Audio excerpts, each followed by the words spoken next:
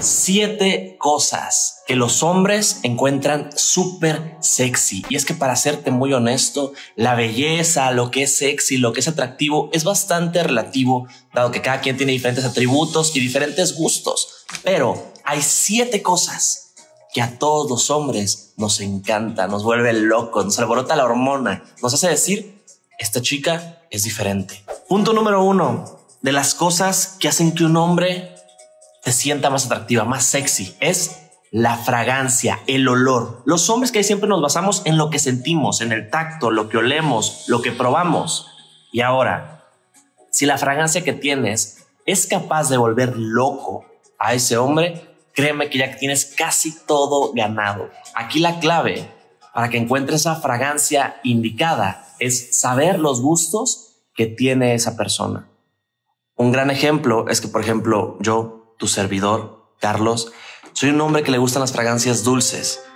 Y esto es porque verdaderamente en mi vida diaria me gustan las cosas dulces, me gustan los postrecitos, me gusta lo azucaradito, no soy tanto de lo ácido, de lo agrio. Y el punto número dos es la voz de buenos días. Y dirás, ¿cómo que la voz de buenos días? Esto es un truco que por lo general nos lo dan a los hombres, de la voz de, hey baby girl, hey, good morning girl, o hey, ¿cómo amaneciste? La voz de recién levantado es bastante sexy y verdaderamente es muy íntima, dado que puedes una voz que solamente la detectas en la mañana y hasta el hombre, si le mandas una nota de voz en la mañana con tu voz de levantada, obviamente que no suenas así de que, buenos días, que suene sexy, ese hombre va a caer más redondito, porque va a sentir incluso que es como de que, oye, me estoy hasta levantando con ella o qué está pasando en este momento. Punto número tres es clásica. Si te da una sudadera o te presta su camisa o lo que sea, úsalo.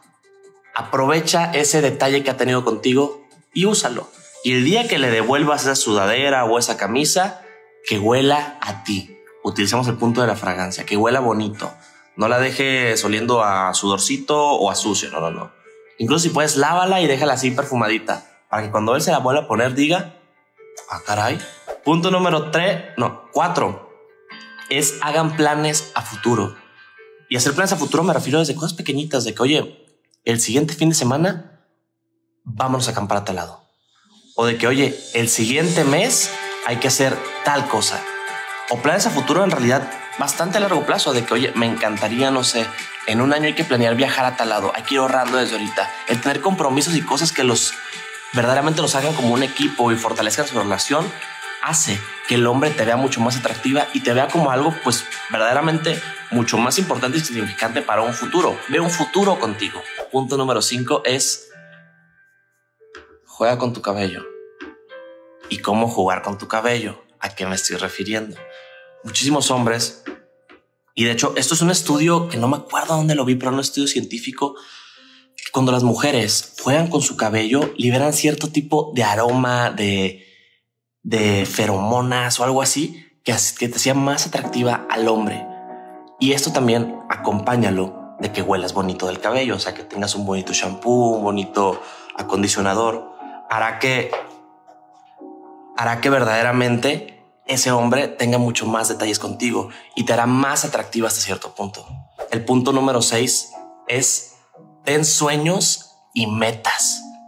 No existe nada más atractivo que una persona segura de sí misma. Una mujer segura es la inseguridad de muchos hombres. Y esto me refiero a de que no te vea que simplemente estás con necesidad o con carencia, que te vea necesitándolo constantemente. El hombre tiene que, tienes que hacerle de notar que quieras o no, antes de él tú ya tienes una vida, durante él tú ya tienes una y después de él también. Y el punto número siete es que sea mutuo y háganse felices. Obviamente, todos esos trucos tienen que funcionar y funcionan solamente si el amor y la intención es mutua. Hay muchos hombres que son muy tímidos o que simplemente no se atreven a, dar el primer paso en muchísimas ocasiones y esos, y esos trucos que te acabo de dar te sirven para adelantarte un poquito a lo que sea que él quisiera hacer.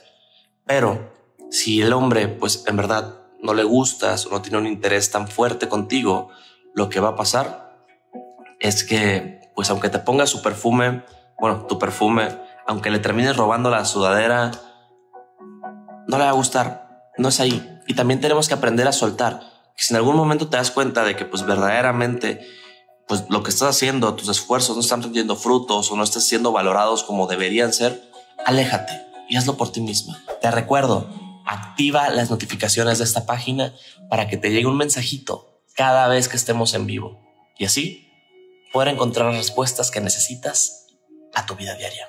Muchísimas gracias por ver este video. Espero que te haya encantado. Si necesitas desahogarte o simplemente hablar con alguien por un consejo o lo que sea, aquí te dejo mi Instagram personal. Respondo casi todo. Nos vemos en un próximo video.